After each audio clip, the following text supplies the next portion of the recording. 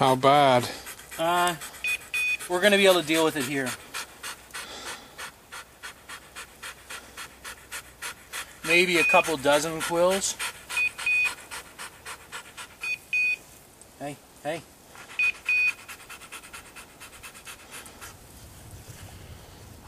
No. Tough as hell, dumb as a doorknob. He just won't leave porcupines alone, and we just, I just cooked him with the electric collar, and he did stop. Good. He did stop, but hey, I'm gonna need you to put the camera down and actually help me because I need you to hold his mouth. So, we just concluded a most distasteful episode, at least for me. Nos found another porcupine, And this would be number four or five or something. and in the panic and my and the haste, I stupidly fired a shot at the porcupine while Jason was in front of me. So we're, I'm lucky that no, that didn't end in dis- disaster and tragedy. And I, of course, was reaching for my remote for the e-collar, which is on Nos, because we know he hates porcupines, and we're on a property that the owner has specifically told us he wants the porcupines dealt with because they're damaging his trees. He has a woodlot. Um, so Jeff and I have uh, pulled the quills from Nos's mouth at this point, but there is another one that I see there. As you can see, Nos doesn't seem uh, to be concerned about what happened at all. In fact, I think he thinks that, oh, for some reason he made me mad, which isn't the case at all because that's what Nos is bred for. The Germans breed the dogs with uh, with a uh, predator hardness, so when Nos sees a porcupine, he sees it as, an, as his job.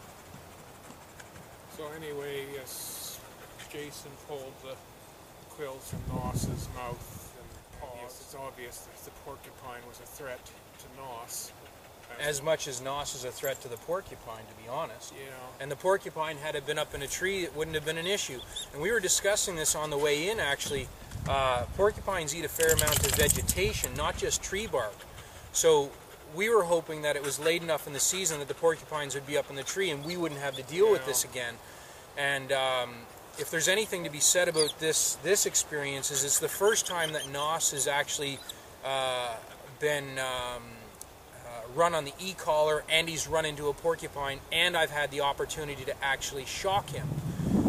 Uh, I wish we had seen it before he grabbed the porcupine the first time because ideally, uh, as he went for the porcupine, is when I would want to actually hit him with the electricity. But that's not what happened. What happened was I ended up using the e-collar to stop him from attacking the porcupine, which it did. It dissuaded him. He did listen to my command. I did tell him to sit. He stopped. But as I approached him, he wanted to go again, and I had to be very stern with him. Uh, in fact, the way he's acting, he thinks that I'm mad at him, but it's it's because I had to stop him from killing the porcupine. Because the last time he killed the porcupine, we were rushing off to the vet for four and a half hours of surgery. So, Mr. Man, I know. Oh, that tastes like crap. Um, so I guess it's just Nos is determined that he's going to kill porcupine. As it is right now, we have another quill to pull.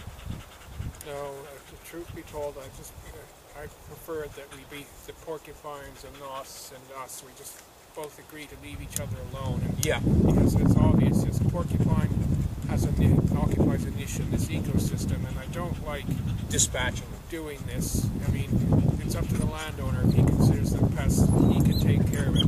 I Yeah, it's, it's not something you come out here saying, oh, we're going to go shoot porcupines today. It's not the case at all. We just wish that Nos would leave him alone.